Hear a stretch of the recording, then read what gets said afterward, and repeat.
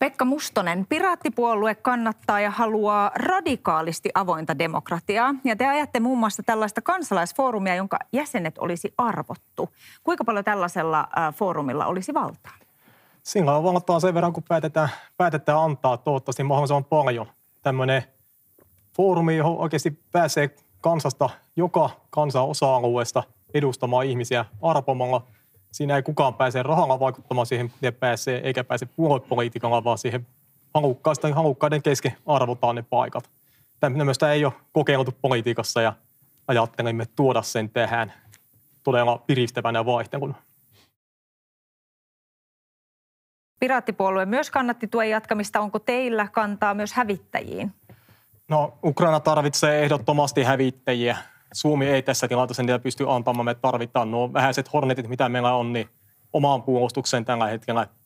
Ja siinä vaiheessa, kun saadaan tänne korvaavaa kalustoa, niin toivottavasti tuo Ukrainan sota on jo hoidettu ja miehittäjä saatu karkotettu sieltä kauas. Joo, siis etnisyyshän ei ole tässä se taustaongelma, vaikka toki löytyy tilastoista paljon etnisyyttä näiden takana – Ongelmaa lasten ja nuorten pahoinvointi yhtenä isona syynä pidän itsekin opettajataustaisena tätä inkluusiopolitiikkaa kouluissa. Siellä tuota kaikenlaista oppilaat tungetaan yhteen ryhmään ja toivotaan lähinnä, että he oppisivat siellä näin todella karkeasti sanottuna.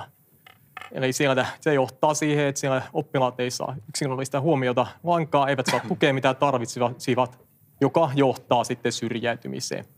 Toinen puoli on sitten mielenterveyspuoli. Nuorten mielenterveys on huonompaa kuin koskaan. Tähän on löydyttävä keino ja löydyttävää rahaa puuttuu, että saadaan nuorilla ajoissa hoitoa. Piraattipuolue.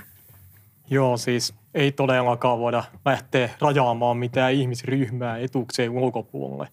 Piraattipuolueen ratkaisu on tähän yleisen perustulon käyttöönotto, joka takaa kaikille kaikille ihmisille sen perustoimeentulon, jonka päälle sitten voi, voidaan tienata. Jokainen, jokaisen työtunnin vastaanotto kannattaa sen jälkeen. Tämä on näitä keinoja, jotka lisää sitä jaettavaa kakkua niin sanotusti. Saadaan talouteen pirteyttä.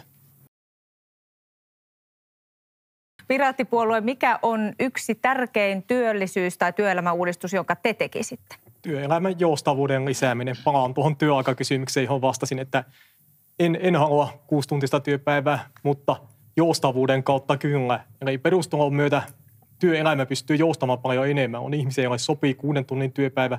He pystyy tekemään sen verran. Monesti voidaan valita. Kaikenlainen valinnanvapaus sinne työelämäänkin halutaan saada. Ja lisäksi mitä tästä naapurista tuli erittäin hyviä, hyviä keinoja myös. Kiitos tästä teemasta se viimeinen puheenvuoro meni Piraattipuolueelle ja te esitätte tähän esimerkiksi teidän ohjelmissanne julkisten tietojärjestelmä infran muuttamista niin, että se olisi, toimisi kokonaisuutena paremmin yhteen. Miten tätä saataisiin siellä terveydenhuollon puolella ö, toimimaan ja auttaisiko se? Siis se todellakin auttaisi. Nythän hei, tietojärjestelmiä tuhlataan aivan järjettömiä summia rahaa siihen, miten huonoja ne on. Käytännössä ne hankaloittaa työtä ja – jos puhutaan, mistä saadaan hoitajia ja lääkäreitä hoitamaan ihmisiä, niin ei heidän työajasta saa mennä noin paljon taistelu tietokoneongelmien kanssa, tietojärjestelmän hankaluuden ja huonokäyttöisyyden ja ylipäätään bugisuuden kanssa. Etenkin kun näistä järjestelmistä maksetaan nämä järjettömiä summia. Mm. Näistä, näistä täytyy lähteä käyttäjäkeskeisestä suunnittelusta liikkeelle, kun lähdetään näitä suunnittelemaan. Käyttää mieluiten avointa koodia, käyttää tuota, aidosti osaavasti kilpailuttaa näiden järjestelmien hankinnat. Virossa esimerkiksi käytettiin vastaavin järjestelmin kohtuullisen paljon vähemmän rahaa, mitä, mitä Suomessa. Sieltä voi katsoa mallia tässä esimerkiksi.